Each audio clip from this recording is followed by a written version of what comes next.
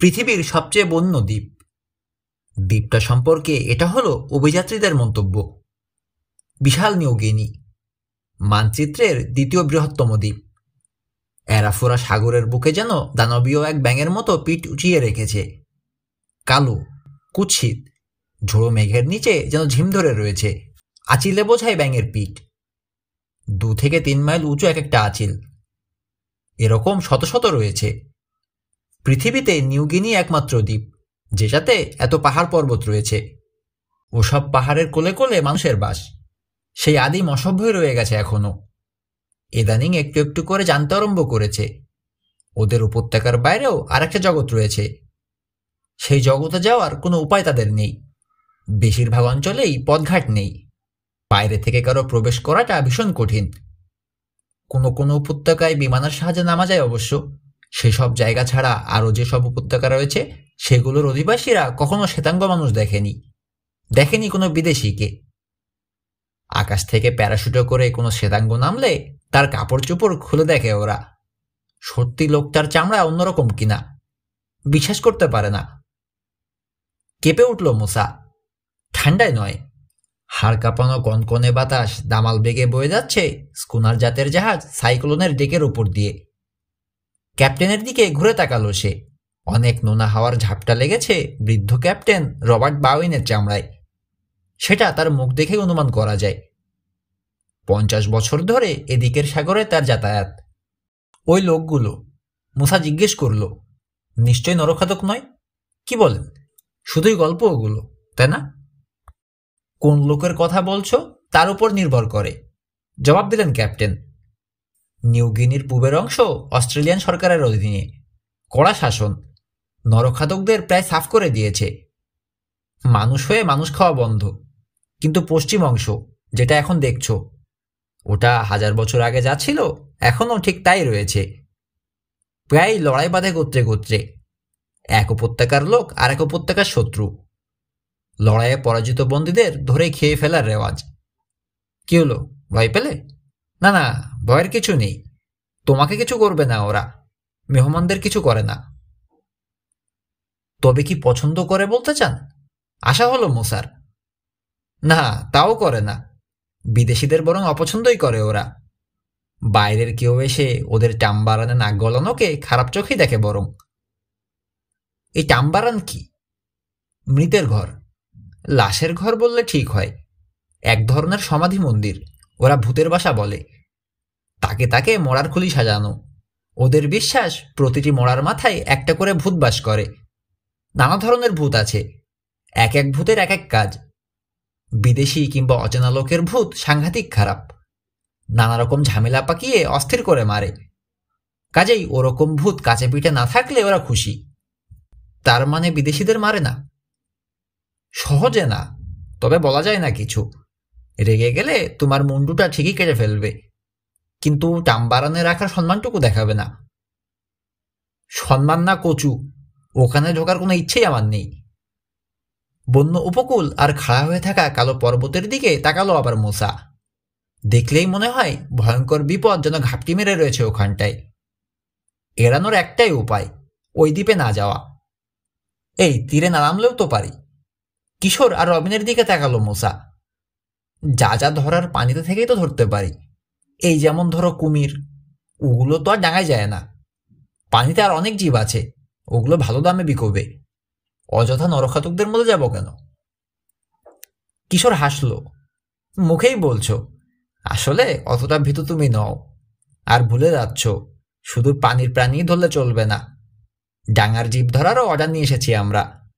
সব ধরতে না পারলে লাভ তো দূরের কথা, এই অভিযানের খরচই উঠবে না। কি কি যেন ধরতে হবে আমাদের? জিজ্ঞেস করল মুসা। অর্ডারটা আর একবার পড়ো তো। পকেট থেকে কাগজ বের করল কিশোর। পড়ল, কুমির, komodo dragon, bird of paradise, cassowary kangaroo bandicoot, cuscus, flying fox, phalanger, দানবীয় বিচ্ছু, ডাইনোসর গিরগিটি, ডেথ অ্যাডার্স, টাইপান, কোয়ালা ভালুক। হেসে কাগজটা পকেটে ভরল সে। আর অবশ্যই নরখাতকদের খুলি মিউজিয়ামের জন্যে। মশার দিকে তাকিয়ে জিজ্ঞেস করল, এখন আমাকে বলো, এসব জিনিস আমি পানিতে কীভাবে পাবো? হাসলো মশা কিশোর ঠিকই বলেছে, অতটা ভীতু সে নয়, যতটা দেখাচ্ছে। ভূতের ভয় ছাড়া আর প্রায় কোনো কিছুকেই তেমন ভয় পায় না সে। আরও একটা কথা পাপুয়া নিউগিনিতে জন্তু জানোয়ার ধরতে আসার উৎসাহটা তারই বেশি ছিল। সিডনিতে এসে একটা স্কুনার ভাড়া করেছে তিন গোয়েন্দা। ওটার ক্যাপ্টেনকে সহ।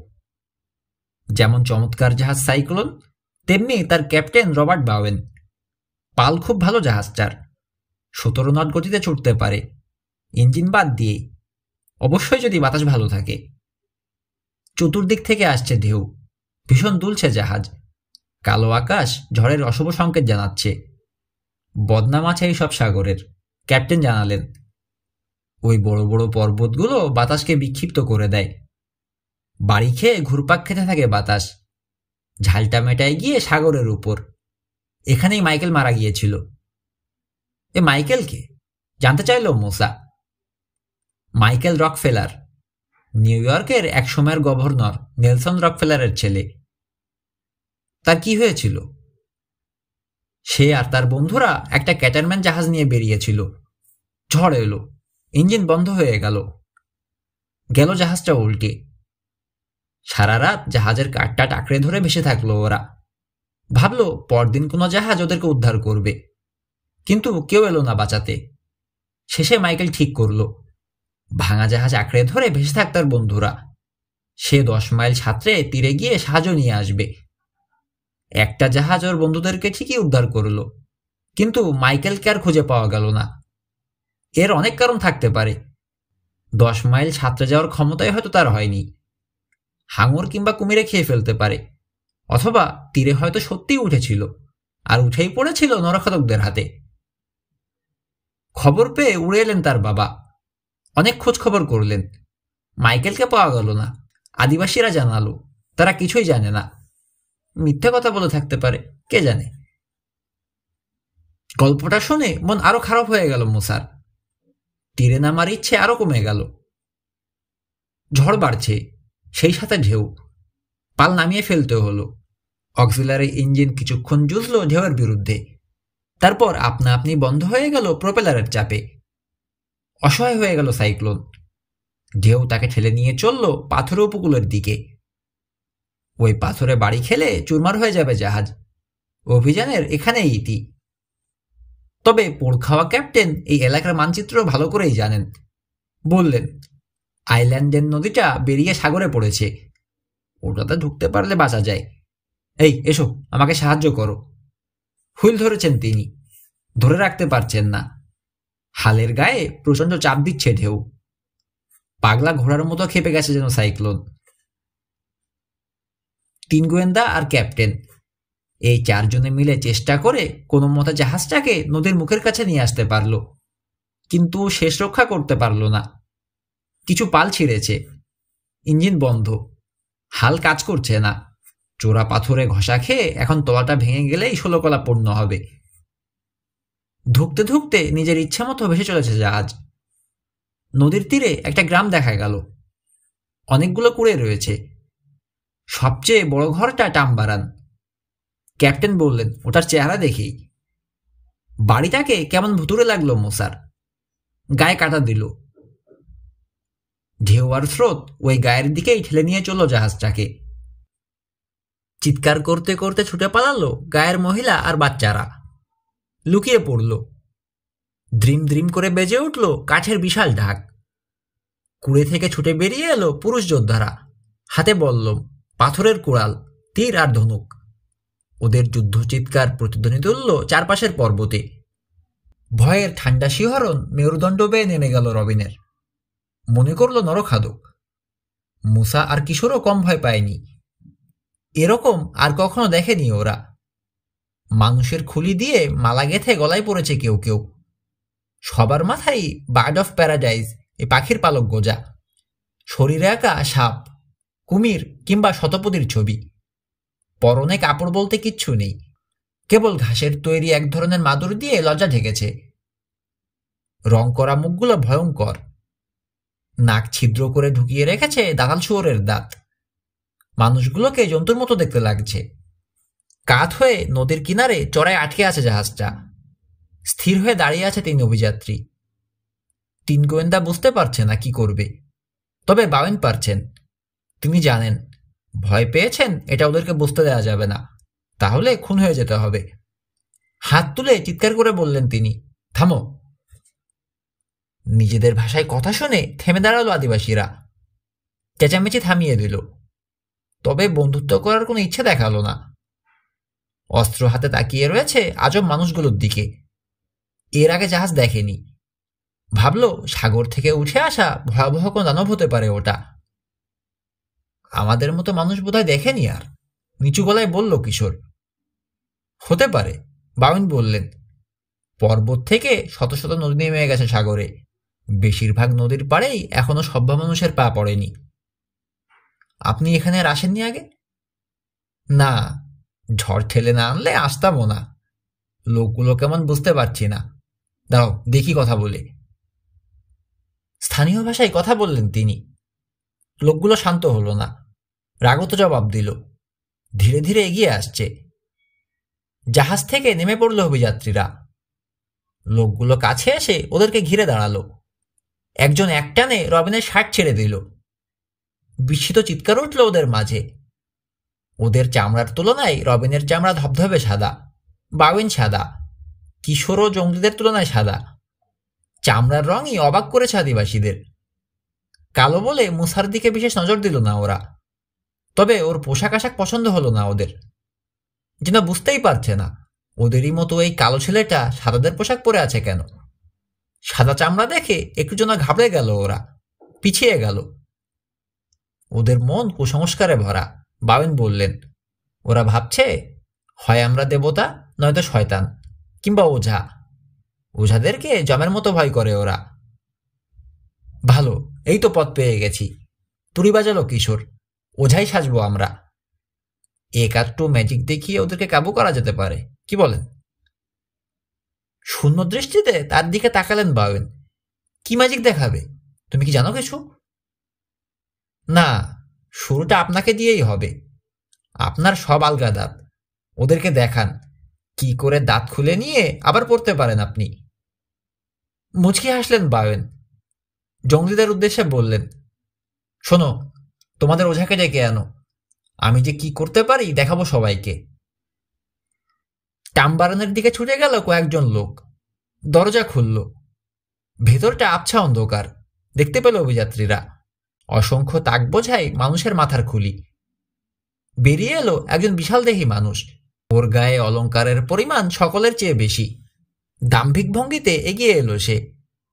লোকেরা সবাই দুপাশে সরে জায়গা করে দিতে লাগল। সবার চোখেই শ্রদ্ধা মেশানো ভয়। রক্ত লাল রঙে আঁকা তার মুখ। ঘন ভুরুর নিচে চোখ জোড়া যেন জ্বলছে। বাউয়েনের মুখোমুখি এসে দাঁড়াল। যেন দেখেই চিনে ফেলেছেন ক্যাপ্টেন।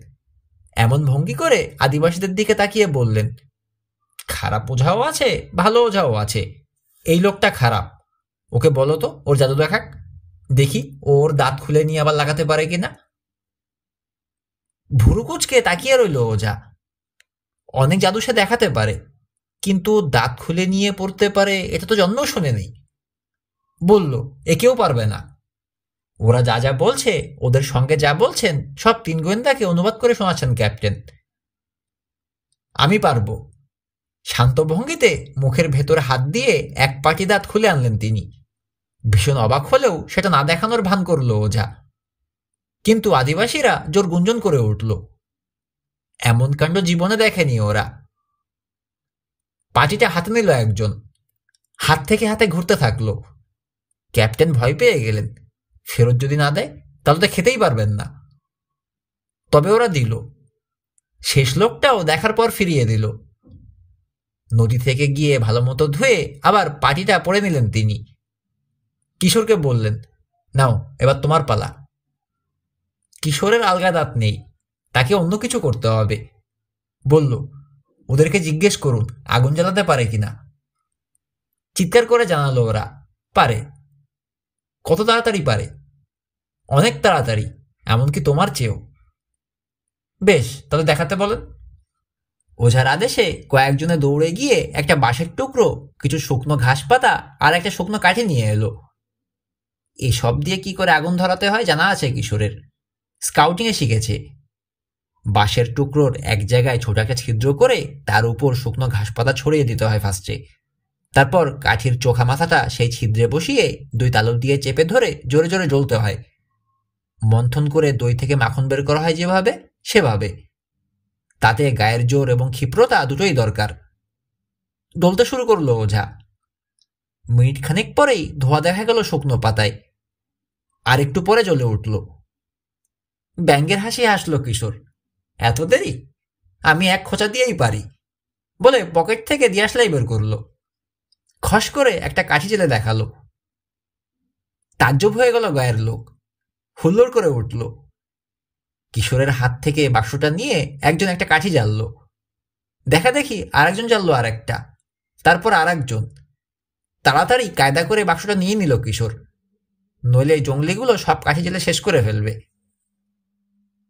কিশোরকেও অনেক বড় ওঝা বলে মেনে নিল ওরা। তারপর মুসা আর রবিনের দিকে তাকাতে লাগল। কি ভেবে বাদ দিল রবিনকে? মুসার দিকে নজর দিল। বোধহয় কালো হয়ে সাদাদের পোশাক কেন পরেছে সেই আক্রোশেই তাকে ধরলো ওরা। কিংবা কালো বলে হয়তো কিশোরের চেয়েও শক্তিশালী কোনো ওঝা হবে সে, এটা ভাবল। কারণ ওদের দেশের সমস্ত ওঝা তো কালোই। তার দিকে আঙুল তুলল। কিশোরকে জিজ্ঞেস করল মুসা, ছোট আয়নাটা হলে কেমন হয়? কি করবে? বাউনকে বলল, মুসা, ওদেরকে জিজ্ঞেস করুন। ওরা কোনো কিছুতে নিজের মুখ দেখতে পারে কিনা জিজ্ঞেস করলেন ক্যাপ্টেন। সবাই মাথা নাড়ল। ওঝা বাদে। সে বলল, পারবে। টাম্বারানে গিয়ে একটা বিশেষ পাত্র আনতে আদেশ দিল সে একজনকে। দৌড়ে নিয়ে এলো লোকটা। আস্ত এক টুকরো চকমকি পাথর কুদে তৈরি করা হয়েছে পাত্রটা। তার মধ্যে পানি ভরল ওঝা মানুষের চেহারা দেখার আদিম পদ্ধতি। হয়তো দশ হাজার বছর আগে পাথরের যুগে তৈরি করেছিল মানুষ এই জিনিস। এই আদিবাসীদের মধ্যে আজও রয়ে গেছে এই ব্যবস্থা। তাতে চেহারা দেখা যায় বটে, কিন্তু অস্পষ্ট। তার উপর পানি কাঁপতে থাকলে নাক, চোখ, মুখ আলাদা করে বোঝা যায় না।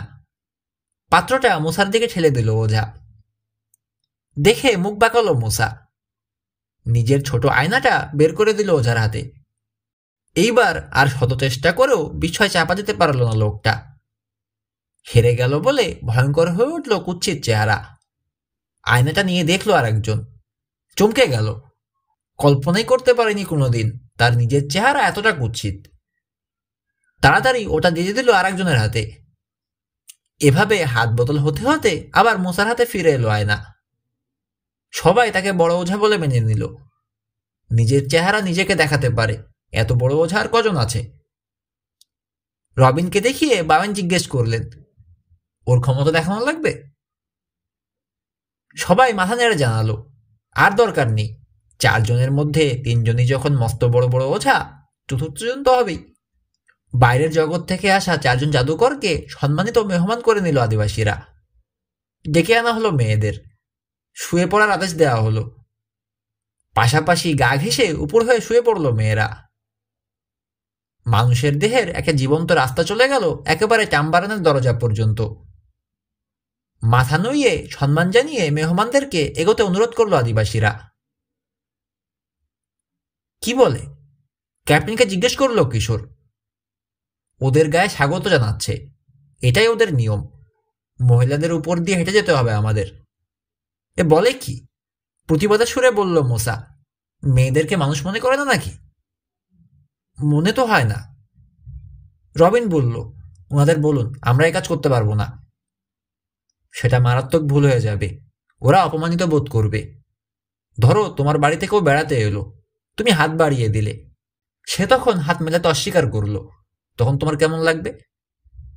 তাহলে আপনি আগে যান। উপায় নেই। বাঁচতে হলে যেতেই হবে। জুতো খুলে হাতে নিলেন বাবেন দ্বিধা করলেন।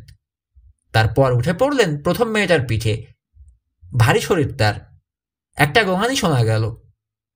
যতটা সম্ভব হালকা পায়ে হাঁটা চেষ্টা করলেন তিনি।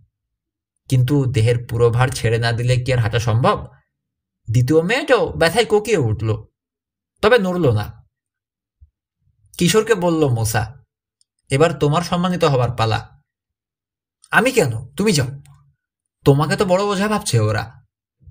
পারব না, তুমি আগে যাও। আগে হোক, পরে হোক, যেতেই হবে। অযথা তর্ক করল না কিশোর। জুতো খুলে নিয়ে পা রাখল প্রথম মেয়ে তার পিঠে। প্রচণ্ড খারাপ লাগছে তার। তারপর এলো মুসার পালা। সবশেষে রবিন। সে সবার চেয়ে হালকা।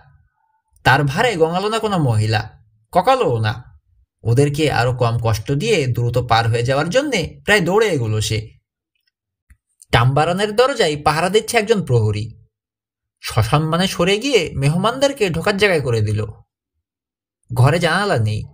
খড়ের চালাটা ঢালু হয়ে নেমে এসে মাটি ছুঁই ছুঁই করছে। ভালো মতো দেখার জন্যে টর্চ জ্বালল কিশোর। কাঠের তৈরি অসংখ্য মূর্তি ঘরে। লাল আর হলুদ রং করা। মুখগুলো ভয়ঙ্কর। কোনোটার দাঁত বেরিয়ে আছে, কোনোটার রয়েছে জানোয়ারের মতো শিং, আবার কোনো কোনোটার বিরাট বিরাট চোখ, বিকট লাগে দেখতে। শয়তানের মতো করে দেবতা তৈরি করে এরা, বুঝিয়ে দিলেন বাওয়েন। ওদের বিশ্বাস শয়তান হলো মহাশক্তিধর। এরকম করে তৈরি করার আরেকটা কারণ আছে। ওঝা চাই এরকম বিকট চেহারা দেখে ভয় পাক লোকে, তাকে মান্য করুক। তবে দেখার মতো জিনিস হলো তাকে সাজানো খুলিগুলো। লাল, নীল, হলুদ কিংবা বেগুনি রঙে রং করা হয়েছে। শত্রুর খুলি, ক্যাপ্টেন বললেন, যাদেরকে ওরা খুন করেছে। কেঁপে উঠল মোসা এই জায়গাটা ভালো না, কেমন জানি লাগছে। লাগবেই। ইচ্ছে করে এই পরিবেশ তৈরি করেছে ওঝা, মানুষকে ভয় দেখাতে। গ্রামবাসীরাও ঢুকলো টাম্বারানে। এক কোণে বড় একটা কাঠের পিপে রাখা হয়েছে। তার উপর উঠে দাঁড়িয়েছে ওঝা। যাতে সবাই তাকে দেখতে পারে। সূর্য ডুবে গেছে, মশাল জ্বেলে দেওয়া হয়েছে।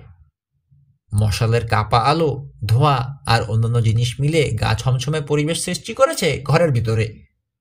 ওঝা বক্তৃতা দিচ্ছে, বাওয়েন জানালেন ছেলেদের। গায়ের লোককে বোঝানোর চেষ্টা করছে সে। তার মতো বড় ওঝা আর নেই, অনেক ক্ষমতাশালী সে। মনে করিয়ে দিতে চাইছে। কারও গায়ে একটা আঙুলো না ছুঁয়ে কীভাবে ওদের মেরে ফেলেছে? সে শুধু ওদেরকে বলেছে, তুমি মরবে। কিছুদিন পরেই মরে গেছে ওরা। সত্যি? বিশ্বাস করতে পারছে না মোসা। ওরা সে কথা বিশ্বাস করে? করবে না কেন? নিজের চোখে তো দেখেছে। তা কি করে সম্ভব? খুব সম্ভব। আসলে ওদের স্নায়ুর বারোটা বাজিয়ে দিয়েছিল। আতঙ্কিত করে দিয়েছিল। অসুখের সময় ডাক্তারের কাছে গেলে আমাদের কি হয়? যদি ডাক্তার বলেন, কিছু না, ও ভালো হয়ে যাবে। তখন মনে হয় না যে সত্যি সত্যি ভালো হয়ে যাচ্ছে? আর ডাক্তার যদি বলেন যে, আপনি শেষ, আর তিন হপ্তাহ টিকবেন কিনা সন্দেহ। রোগীর মনে মৃত্যুভয় ঢুকে যাবে তখন। বাঁচার আশা ছেড়ে দিয়ে হয়তো খাওয়া দাওয়াই বন্ধ করে দেবে। সভ্য জগতেই যখন এই অবস্থা, এখানে জঙ্গলিদের তো আরও বেশি আতঙ্কিত হওয়ার কথা। ফলে কেউ অসুস্থতায় মরে, আর কেউ মরে আতঙ্কিত হয়ে হাল ছেড়ে দিয়ে। হুম, যুক্তি আছে আপনার কথায়। মুসা মেনে নিল। এখন কি বলছে? বলছে, আমাদের চেয়ে সে বড় জাদুকর। প্রমাণ দিতে পারবে তার। চার অভিযাত্রীর দিকে ফিরল ওঝা। গম্ভীর কণ্ঠে যা বলল, অনুবাদ করে তিন গোয়েন্দাকে শোনালেন বাওয়েন যা বলি মন দিয়ে শোনো। শয়তানের সমস্ত শক্তিকে ডেকেছি আমি।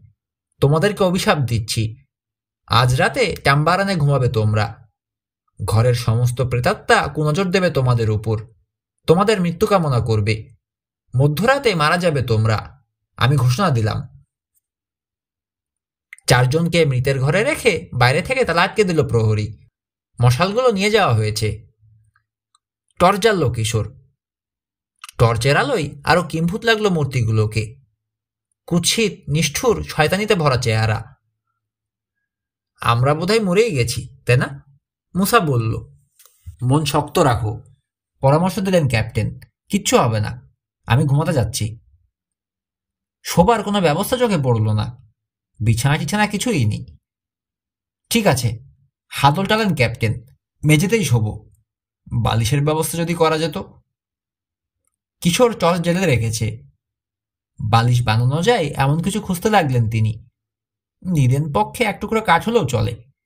কিন্তু কিছুই চোখে পড়ল না। শেষে দৃষ্টি স্থির হলো খুলির উপর।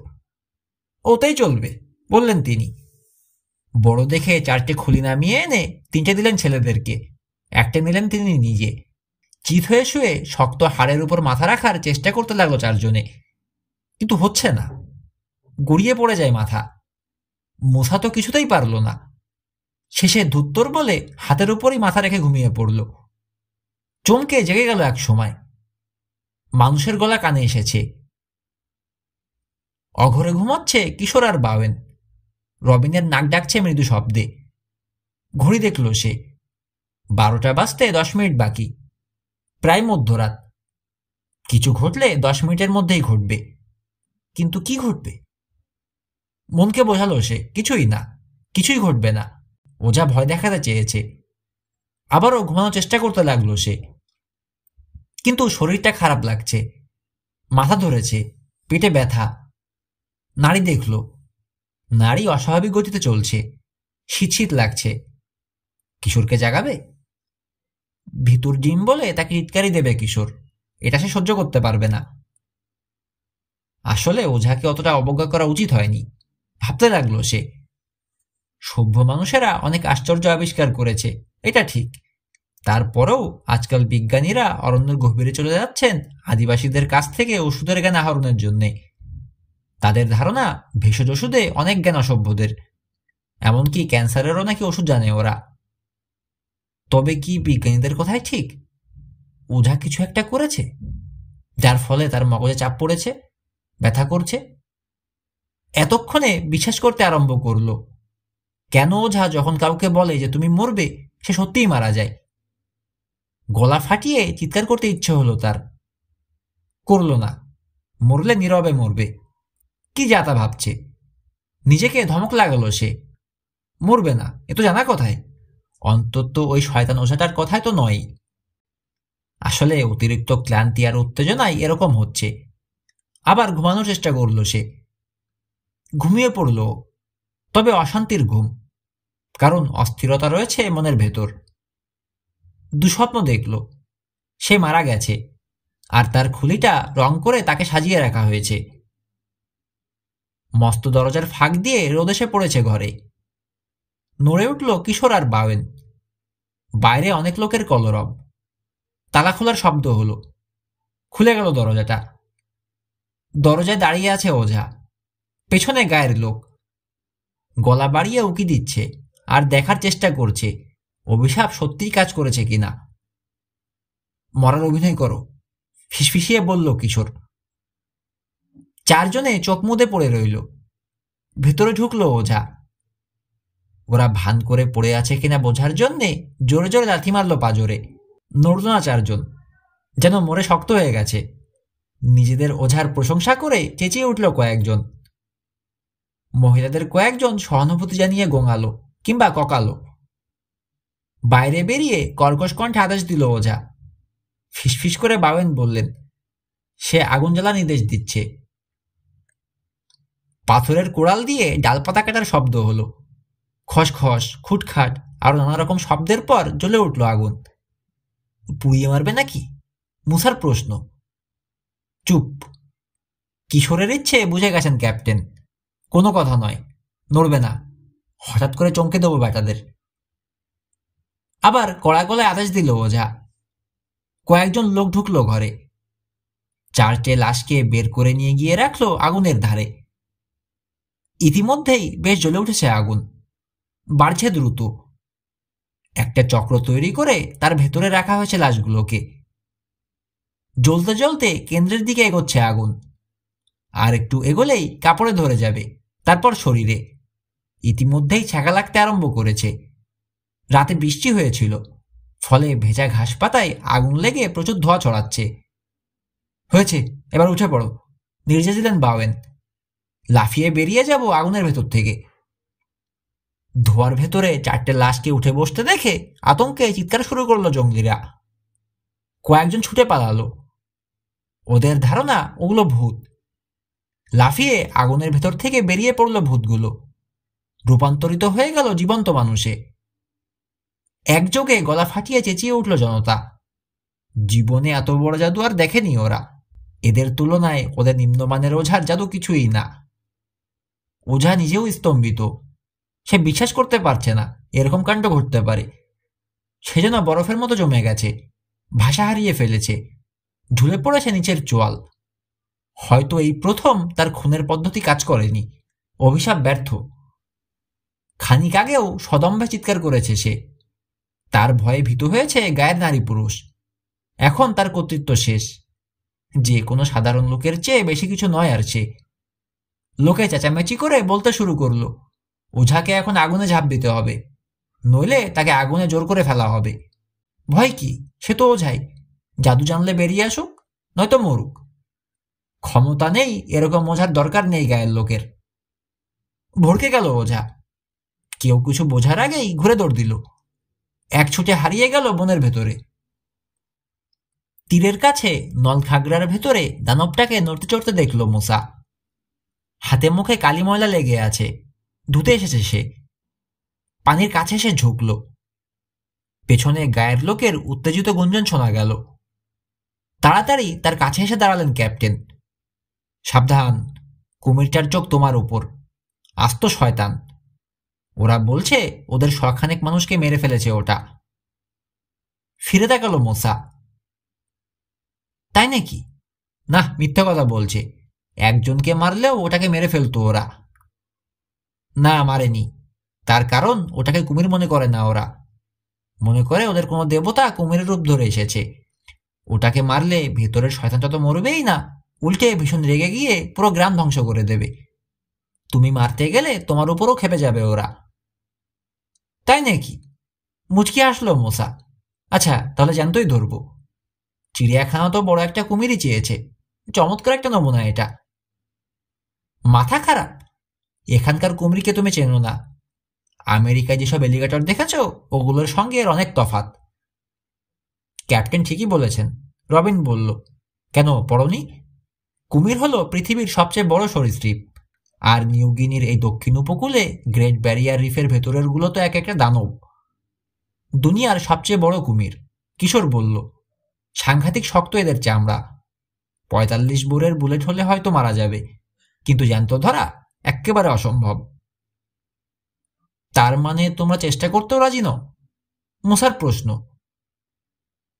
নলখাগড়ার বনে কুমিরটার দিকে তাকালো আবার কিশোর। ঘাপটি মেরে পড়ে রয়েছে। ভাবখানা এমন যে কিছুই জানে না। পানির কাছাকাছি কোনো বাচ্চা কিংবা মেয়ে মানুষ এলে আর সামান্যতম অসতর্ক হলেই চোখের পলকে এসে কামড়ে ধরে টেনে নিয়ে চলে যাবে পানির তলায়। চিন্তিত ভঙ্গিতে মাথা ছেঁকালো কিশোর। তুমি ঠিকই বলেছ, চেষ্টা করা উচিত। গায়ের লোকে মারবে না এটাকে। আর এটাও মহারামে একের পর এক মানুষ সাবার করতে থাকবে। এই মানুষ খাওয়া বন্ধ করা দরকার। কিন্তু ধরবে কীভাবে? জিজ্ঞেস করলেন ক্যাপ্টেন। আর ধরে রাখবেই বা কোথায়? চড়ায় আটকে পড়া কাত হয়ে থাকা স্কুনারটার দিকে তাকিয়ে রয়েছেন তিনি। সেই ব্যবস্থা আপনাকেই করতে হবে, ক্যাপ্টেন। জোয়ার আসছে। ওটাকে নামানোর এটাই উপযুক্ত সময়। সাহায্য করার জন্য এখন অনেক লোক পাবেন। তোলাটা না ভেঙে থাকলেই হয়। আমার বিশ্বাস ভাঙেনি।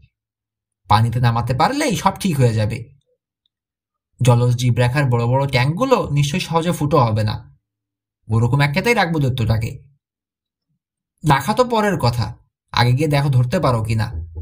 এক টন ওজনের একটা কুমিরকে কীভাবে ধরো তোমরা? দেখার বড় আগ্রহ হচ্ছে আমার। কিশোর ঠিকই বলেছে, লোক জোগাড় করতে অসুবিধা হলো না। তাদেরকে নিয়ে জাহাজ নামাতে চললেন ক্যাপ্টেন। কুমিরটার দিকে তাকিয়ে মাথা চুলকালো কিশোর। এত বড় একটা দানবকে কীভাবে ধরবে ভাবছে। একশো লোকের শক্তি ওটার গায়ে। কলরব জোড়াছে বিশ জন লোক। যারা বায়নকে সাহায্য করতে গেছে। জোয়ারে বেশ ফুলে উঠেছে পানি। অনেক কায়দা কসরত করতে হলো অবশ্য। তবে অবশেষে ঠেলে জাহাজটাকে বেশি পানিতে নামানো গেল। এবারেও কিশোরের অনুমান ঠিক। দলটার কোনো ক্ষতি হয়নি। সোজা হয়ে ভেসে রইল সাইক্লোন। ডেক থেকে চেঁচিয়ে বললেন ক্যাপ্টেন, কুমিরটাকে ধরে নিয়ে এসো। আমি জায়গা করে রাখছি। হ্যাঁ এক বান্ডিল দড়ি ছুড়ে দিন, কিশোর বলল। কি করবে? রবিন জানতে চাইল। এক মাথা ওই গাছের সঙ্গে বাঁধব, আর এক মাথায় ফাঁসি বানিয়ে ল্যাসর মতো ছুঁড়ে মারব কুমিরের মুখে। আটকে দিতে পারলে হা করতে পারবে না, ক্ষতি করার ক্ষমতা অনেকখানি কমবে। রবিন চুপ করে রইল। মুসার মনে হলো, কাজ হলেও হতে পারে। কুমির ঘাপটি মেরে থাকার সময় অনেক সময় মুখটা উপর দিকে তুলে রাখে, কোনাকুনি করে। ওই সময় তার মুখে ফাঁস পড়ানো কঠিন নয়। প্রথমবারের চেষ্টাতেই তার বন্ধ করা চোয়াল আর নাক গলে চোখের কাছাকাছি চলে এলো ফাঁস। দড়ি ধরে এক হাঁচকা টান দিতেই আটকে গেল। মুখ খুলতে পারবে না আর কুমির। গায়ের লোকে দেখছিল, হুল্লোড় করে উঠল। ভীষণ রেগে গেছে কুমির। চোখ জ্বলছে। তেড়ে এলো তিন গোয়েন্দার দিকে। ওরা ভাবছে ডাঙায় রয়েছে, এখানে নিরাপদ। কিন্তু কুমির যেমন পানিতে বিপজ্জনক, ডাঙায়ও কিছুমাত্র কম নয়। চোখের পলকে কাছে এসে লেজের বাড়ি মেরে গোয়েন্দাদেরকে পানিতে ফেলে দেওয়ার চেষ্টা করল। অল্পের জন্য বেঁচে গেল ওরা। শয়তান খেপেছে। এটা ভেবে যে যেদিকে পারল দৌড় মারল গ্রামবাসীরা। তবে দড়িটা শক্ত। আর শক্ত করেই গাছের সঙ্গে বেঁধেছে কিশোর। ছুটাতে পারল না কুমির। আবার তাড়া করল ওদেরকে। গাছটার দিকে তাকালো একবার কিশোর। ওখানে উঠে রেহাই পাওয়া যায় কিনা ভাবল। হবে না। মোসা আর রবিনকে ছুটতে বলে দৌড় দিল টাম্বারানের দিকে। লম্বা দড়ি, পেছন পেছন এলো কুমিরটা। যে করেই হোক, ধরবেই শয়তান ছেলেগুলোকে। ভাবখানা, এত বড় সাহস তাকে নিয়ে মজা করে।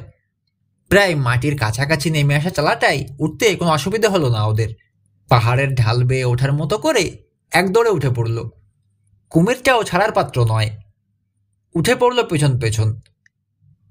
তিনটে ছেলে উঠেছে, সেটা আলাদা কথা। কিন্তু এক টনি কুমিরের ভার বহন করার মতো শক্ত নয় চালাটা। ভেঙে পড়ল। ছাদের আরেক ঢাল বেয়ে নেমে পড়ল ছেলেরা। মারাত্মক জানোয়ারটা পেছনে আসছে কিনা দেখারও সময় নেই। একটা ঝোপের ভেতরে লুকোনোর পর ফিরে তাকানোর অবকাশ হলো। টামবারানের ভেতরে তোলপাড় করে ফেলেছে কুমিরটা। মূর্তি উল্টে ফেলছে। লেজের ঝাপটাই তাক থেকে ঝরঝর করে পড়ছে খুলিগুলো। বেরোনোর জন্যে পাগল হয়ে উঠেছে ওটা। পথ খুঁজছে। দরজা দিয়ে বেরিয়ে যাবে, কিশোর বলল। তার আগেই ওটাকে পাকড়াও করতে না পারলে সমস্যা হবে। ওই দৈত্যটাকে? কি করে? মুসা বলল। জাল দিয়ে। জাল এক মিনিটও রাখবে না, ছিঁড়ে কুটি কুটি করে ফেলবে। হাঙর ধরার তার জালটা ব্যবহার করা যেতে পারে। হাঙরের লেজ নেই কুমিরের মতো, নখও নেই, আটকানো যায়, কিন্তু কুমিরকে? আর দেখতে দোষ কি? তা বটে, দেখতে দোষ কি? আর তর্ক করল না মোসা। দৌড়ে যাও ক্যাপ্টেনকে গিয়ে বল, ওটা ছুড়ে দিক। টাম্বারানের ভেতরে ওদিকে নরক বুলতার করছে কুমিরটা। বেরোনোর পথ এখনও খুঁজে পায়নি। সাংঘাতিক ভারী জাল ক্যাপ্টেনের একার পক্ষে ওটা ছুড়ে দেওয়া অসম্ভব। অবশেষে বারো জন লোকের সহায়তায় ওটা জাহাজ থেকে নামিয়ে টাম্বারানের দরজা পর্যন্ত বয়ে আনা হলো, ছড়িয়ে দেওয়া হলো। দরজাটা খুঁজে পেল কুমির। লেজের বাড়ি মেরে ভেঙে ফেলল কাঠ। হুড়মুড় করে বেরিয়ে সেই গুঁতো মারল জালে, জড়িয়ে ফেলল নিজেকে। ছাড়ানোর অনেক চেষ্টা করে ব্যর্থ হলো আরও বেশি করে জড়িয়ে ফেলল নিজেকে। আনন্দে হইচই করে চেঁচাতে লাগল কিশোর, মোসা আর রবিন। উত্তেজনায় একটা ব্যাপার লক্ষ্যই করেনি। ফাঁসটা নিচে নেমে গেছে। কুমিরটা হা করতে পারছে। যদিও পুরোটা নয়, তবে ওটাই যথেষ্ট।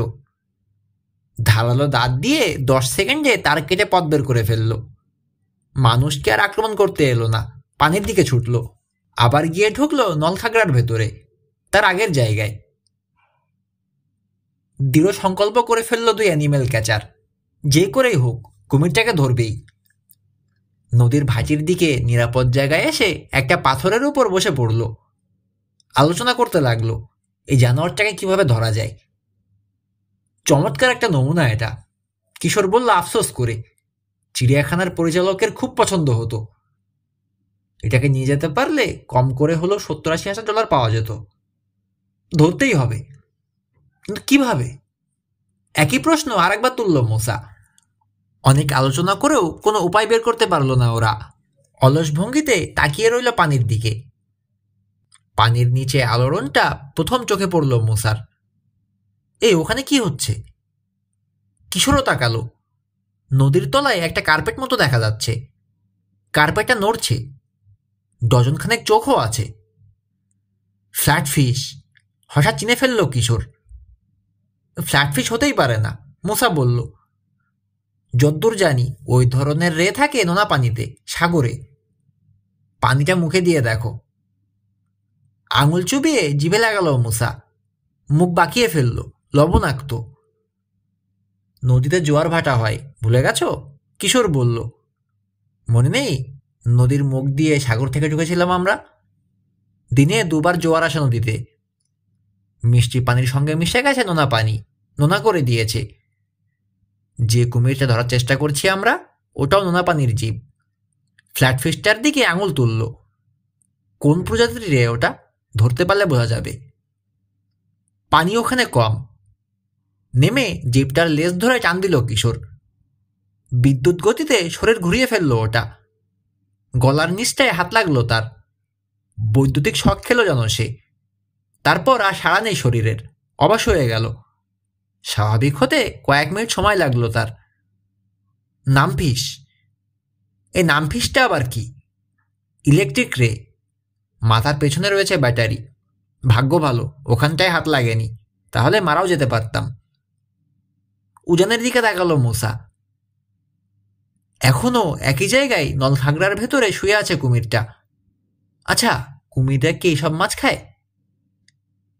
মনে হয় কুমির অনেকটা উটপাখির মতো, যা পাই গিলে ফেলে। সেজন্যই ওগুলোর পেটে নানা রকম অদ্ভুত জিনিস পাওয়া যায়। মাছের হাড় আর মানুষের হাড় তো থাকেই, কারণ কুমির সব খায়, মেয়ে মানুষ খায়, ফলে অনেক ধরনের গহনা পাওয়া যায়। টিনের পাত্র, বাসন পেয়ালা, এমনকি পাথরও পাওয়া যায়। চকচক করছে রবিনের চোখ। একটা বুদ্ধি এসেছে রিটাকে ধরে নিয়ে গিয়ে কুমিরকে খাইয়ে দিই না কেন? কেমন হবে তাহলে? অবশ্যই যাবে না? কিশোর হাসলো। বুদ্ধিটা মন্দ না। একটাতে কিছু হবে না ওটার। তবে গোটা কয়েক গিলিয়ে দিতে পারলে কাজ হতেও পারে। এবার রেটার লেস ধরে টান দিল মশা। বাপ রে, দুশো পাউন্ডের কম হবে না। এই ধরো না তোমরা, হাত লাগাও, আমি একা পারব না। ঘাড় আর গলার কাছে হাত দিও না, সাবধান। টেনে টুনে মাছটাকে তুলে এনে কুমিরের কাছাকাছি ফেলল দুজনে। তারপর সরে গিয়ে দেখতে লাগল, কি করে? কয়েক মুহূর্ত স্থির দৃষ্টিতে মাছটার দিকে তাকিয়ে রইল কুমির। তারপর হঠাৎ ঝাঁপ দিল সামনে।